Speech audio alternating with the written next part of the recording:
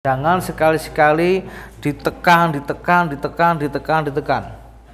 Ya apalagi di krak krak krak krak itu.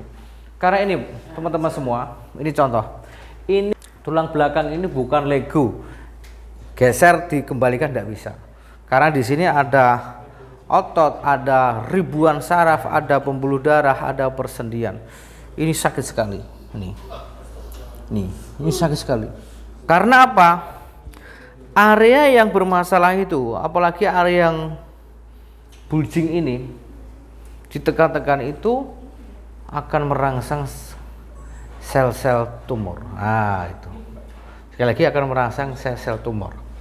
Kasus terakhir akan bisa mengakibatkan ya namanya peradangan sumsum -sum tulang belakang.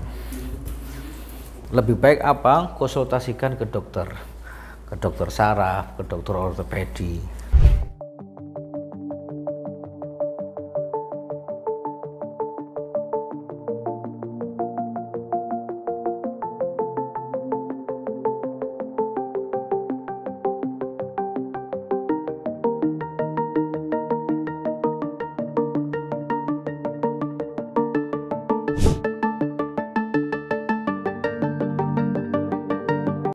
Assalamualaikum warahmatullahi wabarakatuh. Bersama lagi dengan saya Aris Setiawan MCO Masa Keluarga. Kali ini MCO akan mengedukasi tentang uh, penanganan cedera tulang belakang Atau medisnya itu adalah HNP Atau saraf kejepit Atau istilahnya kecedit. Nah itu kurang Jawa. Hati-hati teman-teman semua. Ini area vital. Ya, ada C ada T, ada L, ada S. Ya, ini area-area vital. Jangan sekali-sekali ditekan, ditekan, ditekan, ditekan, ditekan. Ya, apalagi di krak krak krak krak itu. Karena ini teman-teman semua, ini contoh. Ini posisinya Mas Agus seperti ini. Hasil MRI-nya building di L4 L5 seperti ini. Ya, itu kalau ditekan-tekan itu akan bertambah buruk sekali lagi akan bertambah buruk. Ya bisa bertambah buruk. Ya apa yang harus dilakukan? Kendori otot-otot sampingnya. Jangan sekali-sekali ini apalagi yang ditarik-tarik itu ya. Karena apa? Tulang belakang ini bukan lego. Geser dikembalikan tidak bisa. Karena di sini ada otot ada ribuan saraf ada pembuluh darah ada persendian. Ini sakit sekali ini Nih, ini sakit sekali. Betul kan? Ini ini beda, ini suaka sekali. Ini loh, ini loh. Ya. Mengapa ini sakit? Mengalami namanya spasm kekakuan. Ya, nih. Jangan sampai kita membantu tapi tambah memperburukkan itu loh. Nah, ini.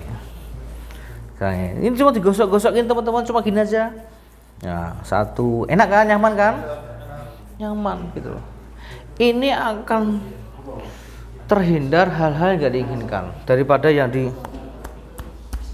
itu ya itu. Bunyi itu sensasi ya. Bunyi itu sensasi.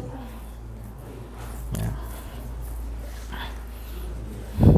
kalau tangan lutut ankle itu aman.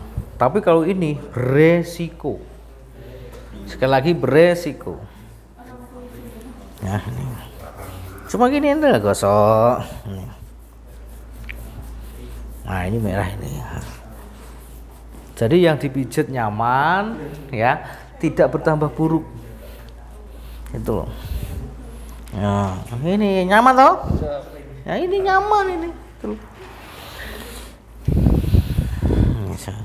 Cuma gini aja. Nah cuma gini aja. Ya ini nggak boleh ditekan-tekan. Sekali lagi nggak boleh tekan-tekan beresiko. Karena apa? Area yang bermasalah itu apalagi area yang bulging ini ditekan-tekan itu akan merangsang sel-sel tumor. Nah itu. Sekali lagi akan merangsang sel-sel tumor. Kasus terakhir akan bisa mengakibatkan ya namanya peradangan sumsum -sum tulang belakang tambah sakit nah, itu halo, halo. nah udah siap ini Kita cek lagi. Tadi sakit luar biasa sekarang nih. Enggak. Nih. Ini sudah enggak apa-apa. Ya. Ini, nah ini. Karena apa? Ototnya sudah rilis. Ya tadi ototnya kaku. Ini, nah ini nyaman ini. Tidak sakit, tidak berbahaya. Ya, ini. Sekali lagi jangan pakai yang benda-benda tumpul ya ditekan tekan tekan tekan dicukil cukil cukil cukil waduh loh bahaya sangat bahaya miris nah.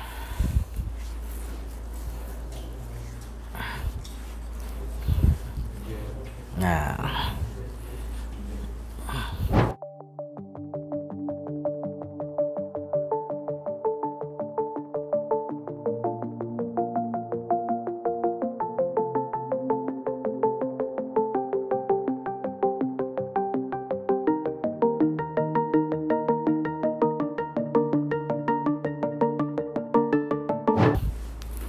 lebih baik apa? Konsultasikan ke dokter. Ke dokter saraf ke dokter ortopedi. Supaya lebih paham lebih jelasnya. Nah ini enak banget ini halo? Wah udah enak ini. Tidur ini. Tidur ya. Hah? Enggak. Menikmati. menikmati. Ya ternyata enak ya pijat ya? Sering pijat enggak? Sering. beda dengan ini ya? Beda. eh Beda. bener ya bukan aku minta pengakuan ini yang terbaik. Kira-kira ini nilainya gimana? Sembilan. uh nilainya 9 teman-teman. Bintang berapa? Bintang lima. wah bintang 7 tadi bintang 5 wah bintang 5 bener loh ya? Nanti komen nanti gitu. Nah ini nyaman enak menikmati. Nah sekali lagi ya hati-hati ya jangan sampai niatnya membantu tambah memperburuk ya dicek lagi teman-teman halo Alhamdulillah. Alhamdulillah selesai. Udah selesai teman-teman. Mungkin itu sekali lagi saya bukan menyudutkan seprofesi. Lebih baik hati-hati, lakukanlah dengan orang yang profesional, lakukanlah dengan ilmu, jangan dengan ilmu. Jangan belajar asal-asalan. Ini butuh jam terbang, ya, butuh ilmu. Mudah-mudahan masih bersama Mahat.